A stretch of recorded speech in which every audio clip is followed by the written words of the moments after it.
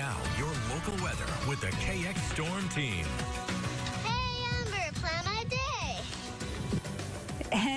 Good morning. That was uh, sent in from Marion. That's her granddaughter in Minot. So this is your forecast.